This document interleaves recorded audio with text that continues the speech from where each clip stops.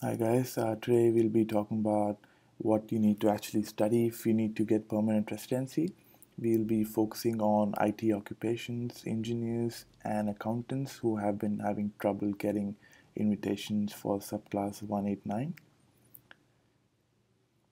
So, the current situation is that unfortunately, a lot of clients, after finishing their studies, bachelor's or master's, or even working visas, subclass 485, which is valid for two years, are unable to meet these points. Just to give you a brief idea of what the points look like, if you go on SkillSelect, if you go on Department of Home Affairs and check the latest invitation round, which is 21st March 2018. If you go down, it'll tell you that for the pro rata occupations, accountants, auditors, engineers, and so on, it's around 75 to 80 points. And these are really high points. Usually, a lot of applicants cover these points by either doing NAATI, PTE, IELTS, or Australian work experience, or try to do professional year. A lot of clients, if they need to score 75 points, they need to get 8 in each in IELTS or equivalent as well. So this is actually very difficult and just to give you an idea of how difficult that is, this is a demographic data of from IELTS. If you go on IELTS.org, it'll tell you the demographic data of 2016 and how many people actually managed to score 8, 8.5 or 9 overall. So this is overall band score by percentage. If you go down, it'll tell you country statistics and how many people from these countries who have actually given IELTS test managed to score 8, 8.5 or 9 overall. A lot of our clients are from India, so let's go and have a look at how many people actually managed to score 8 overall. That's 9.43%. 8.5 overall is 0.75% and 9 overall is 0.40% a lot of clients from Nepal as well so they managed to score 3.27% managed to actually score 8 overall whereas 9 overall is scored only by 0.15% so that's a lot of people who actually don't manage to score 8 in each and they don't have the required points for that getting an invitation for subclass 189 so this is where uh, I come up with a solution. You can either do trades occupation. Applicants who have studied, started either studying uh, IT occupations or engineers or even accountant professions, they they can either switch to st studying trades occupation or if you have already finished your studies and have applied for subclass 485, you can start doing trades occupations as well. Trades occupations, some of the examples include carpenter, bricklayer, electrician, chef, etc. Just to give you a brief idea of trades occupation and how in demand they actually are in Australia, if we go again back on the immigration website, Department of Home Affairs, and go down on occupation ceilings for 2017 and 2018 program year. So this is basically the seats Immigration Department of Australia allocates to each and every occupation and how many of these actually get filled. So these are the seats on the left and on the right are the um, how many seats actually get filled. So if you go down on the trades occupation, it will actually tell you how many seats are available and how many actually get filled. For chefs, it's 2,675 and only 58 get filled. Electronics trades workers, 1,878 and only 23 get filled. So all these are list of trades occupations and you can just get a brief idea of that not even 10% of the total seats are getting filled.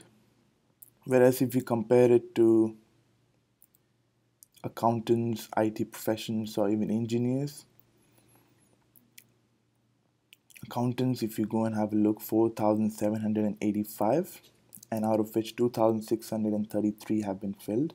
and this 2633 is for subclass 189 and 489 family sponsorship and the rest will be filled by other skilled visas such as ENS and RSMS as previously mentioned in my other video.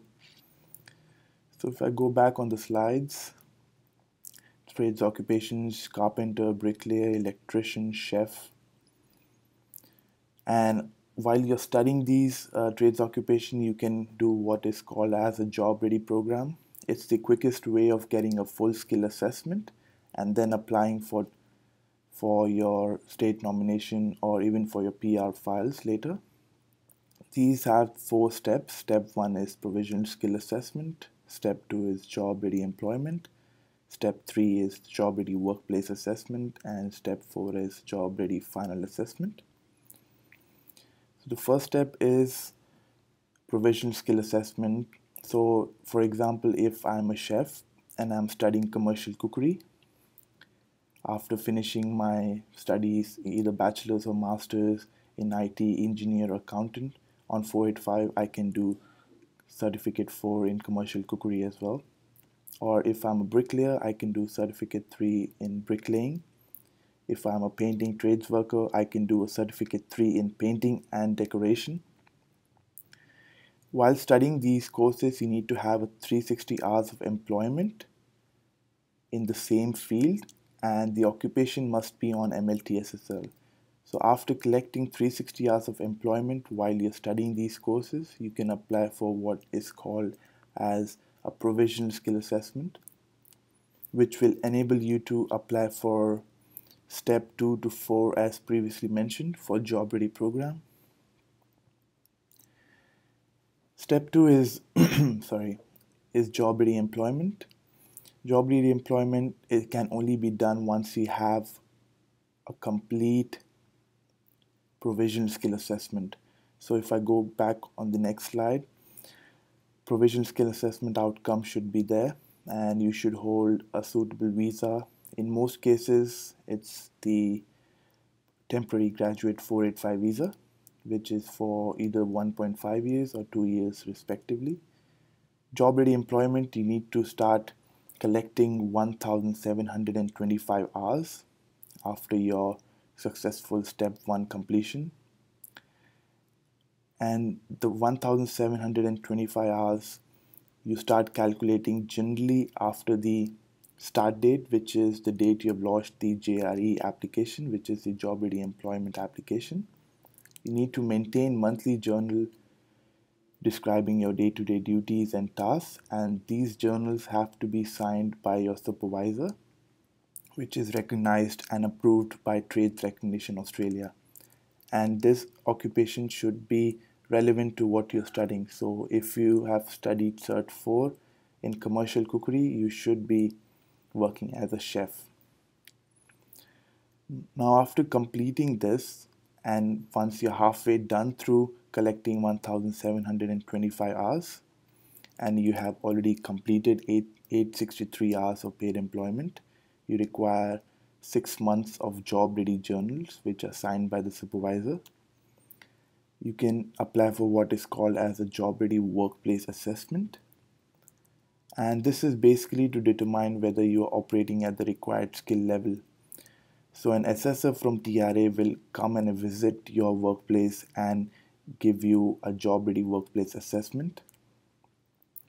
After you've completed your 1725 hours, which should be done in a minimum period of 12 months, and signed journals, you can apply for a full skill assessment. You'll be provided with a full skill assessment which you can use to apply for your PR application subclass 189, 190 or 489. Just to give you an idea of the points calculation, if you have finished the job ready program and, and you want to apply for subclass 190 or 489, your age would be around 25 to 32, which would give you 30 points. Bachelor's or master's gives you 15 points. Two years of Australian study, which should be course based and 92 weeks, gives you 5 points. Whereas one year of Australian experience through the Job Ready program will give you 5 points. State sponsorship options depending on which visa you're applying for, either it's subclass 190 or 489 will give you 5 to 10 points respectively. Whereas 16 each in IELTS, which is the minimum requirement for trades occupation skill assessment and applying for subclass 190, 489 or 189 will give you 0 points. You can claim additional points on this if you get 7 in each or 8 in each but the minimum requirement to expect an invitation for state nomination options is 60 and 60 plus which you will have after the points calculation I've showed you. So why study trades after IT or even engineers or even accountant occupations? Currently trades occupations are very good for applying for PR and most states are open for state sponsorship subclass 190 or 489. Points requirement for trades occupation is 60, which is inclusive of state nomination, which means that if you have 55 points, you can also apply for subclass 190 and get 60 points, which is more than sufficient to expect an invitation. Trades occupations also have really high paying jobs, so people who are in Australia currently, they already know how well tradies get paid. And they have really good career progression and it's a very cost effective way the job ready program to expect a full skill assessment and then apply for subclass 190 and 489 if you have any questions you can contact us on the information provided to you on screen. If you are in India and you would apply, would like to apply for trades occupations you can contact us on the Indian office details provided to you on the screen. If you are in Australia, we have offices in Sydney and Northern Territory. Thank you and have a nice day.